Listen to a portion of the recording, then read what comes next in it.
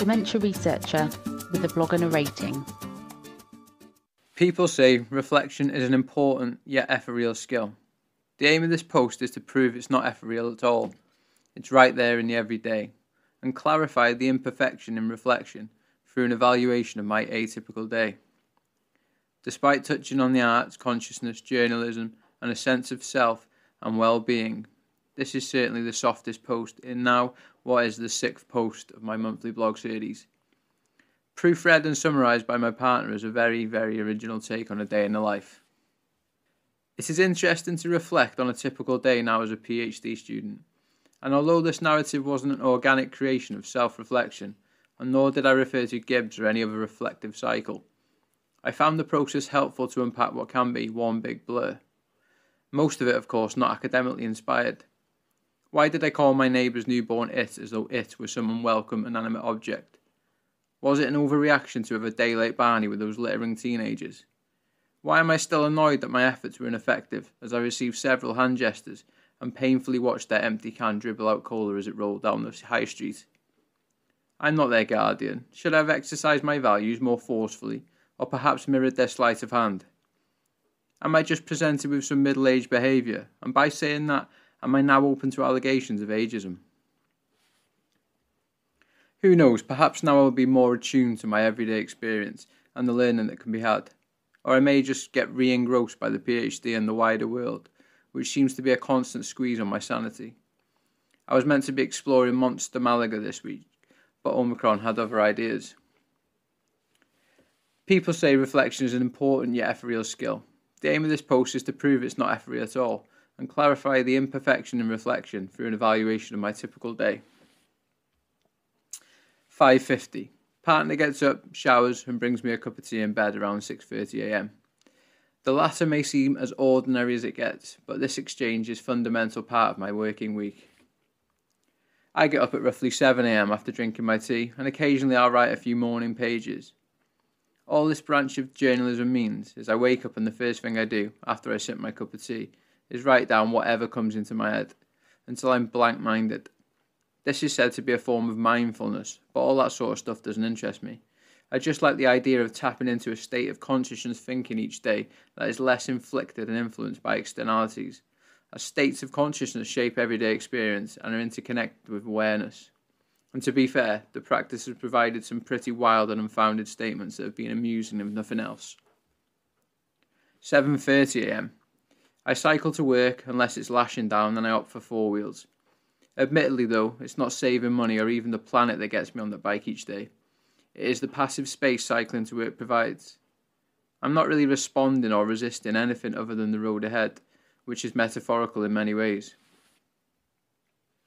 8 am to 5 pm.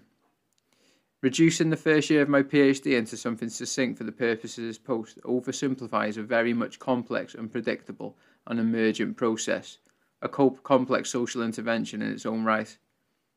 But commonly I start by trawling through a copious number of emails, most of which are publication updates. Academics res- reference research waste and suggest we are drowning in data, and I now understand. My advice would be if it seems relevant or interesting, read it, but if the contents aren't making much sense, pay it for something more accessible. As a PhD student, you will quickly develop a collection of ongoing work literature review, transcription, Gantt charts, and so on. I try and tackle these in half day bouts to avoid stultification. Perhaps paradoxical, these fundamentals are least conducive for reflection, and only more recently, when collecting data and writing reflections in my PhD diary, have I actually strategically reflected.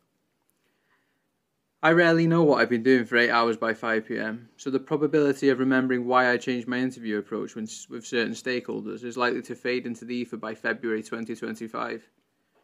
My advice is be a consistently detailed diarist. 5 pm. Opposite to riding into work, the short ride to freedom is more of a debrief than pacification. Assessing my achievements or and shortcomings that day, I may initiate some next steps. What I must say is, so what?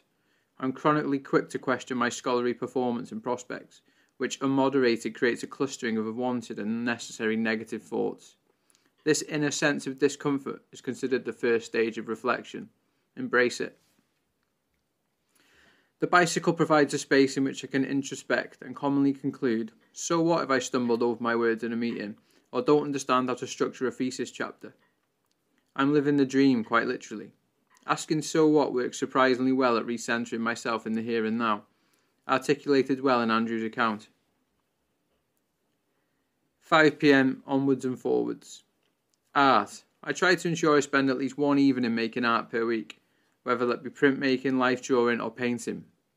A growing body of evidence demonstrates the positive impact arts can have on people, particularly those living with dementia, and similarly, I feel an enormous sense of self creating. Wine. As Pope Francis observed, wine is many things. It has a bouquet, colour, and richness of taste that all complement the food. It has alcohol that can enliven the mind. Wine enriches all our senses. A glass or two each evening, complemented with something nutritious, is up there with the morning tea in terms of everyday fundamentals. I'm not advocating alcohol is beneficial, although some studies suggest small amounts per week can reduce risk of dementia. It's a drug that causes significant levels of harm and economic burden, and in another world would be prohibited.